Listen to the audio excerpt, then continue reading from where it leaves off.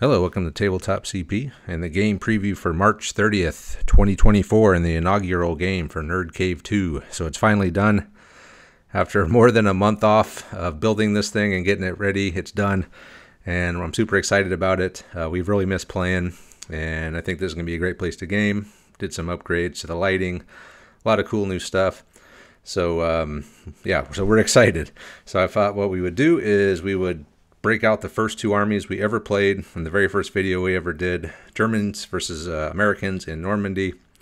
As kind of a throwback to that um, to kick it all off. So we're going to be playing the Nuts mission from Bolt Action Alliance. is one of our favorite missions of all time. It's five objectives, one in the center. We take turns placing the other four.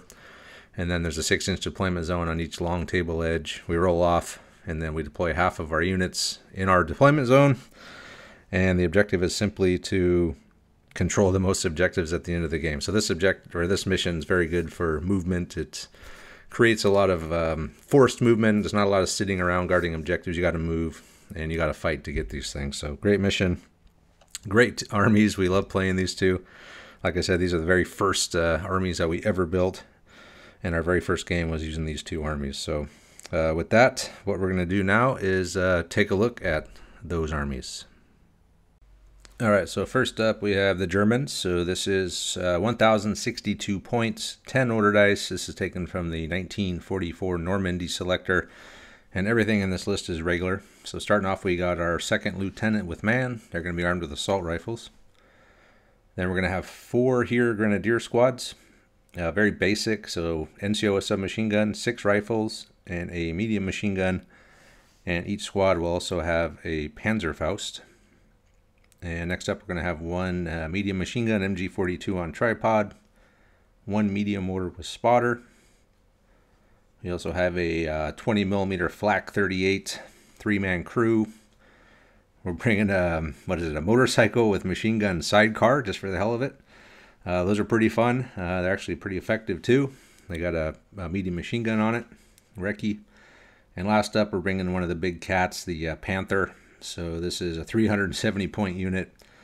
Uh, it's got Tiger Fear. We'll see if we can remember that. All shots from the front count as 10, 10 plus armor. It's also got a super heavy anti-tank gun.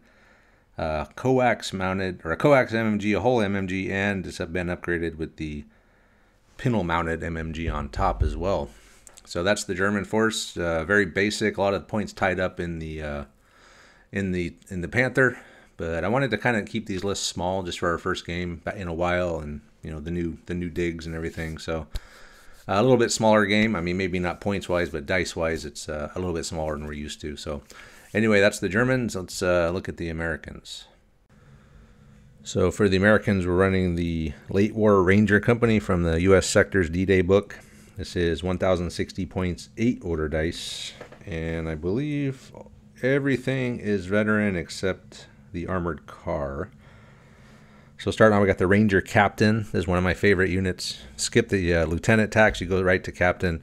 They always do super awesome in these games. So it's the captain and three guys. So it's a four-man squad with the captain, all armed with submachine guns.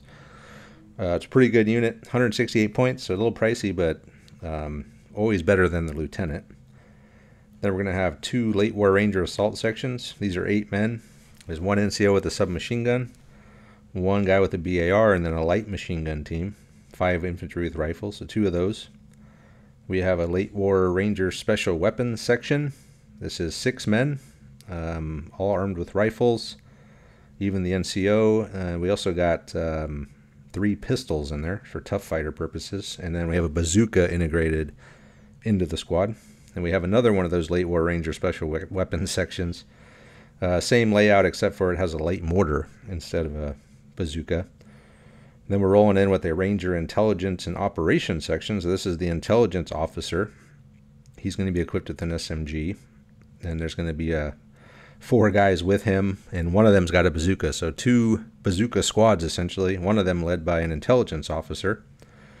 And the intelligence officer is going to let uh, the American player once per game at the beginning of any turn um, try to get the dice, the first dice out of the dice bag. So on a four plus, I believe, um, he gets the first die, uh, regardless, or he gets to pick to go first. So pretty powerful. We've tried it before. I don't know if we've ever actually got the uh, the roll for it, but it could be pretty cool if um, it comes down to that. Hey, I need that first dice, and uh, you got a chance to get it. So pretty cool. Uh, other than that, we're rolling in with his a, a sniper team, and then the Greyhound uh, with the 50 cal on top.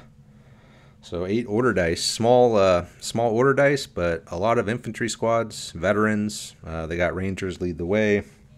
There is a special rule, I think, that only half of them can um, do the rangers lead the way rule. It's called covered advance. I guess that's just so your whole army can't move. Um, so yeah, that's uh, that's the American force. So as far as the live stream goes, we're not quite there yet. We're gonna try it. We we'll try to do one. I'm having some lapel mic issues. I got to figure that out.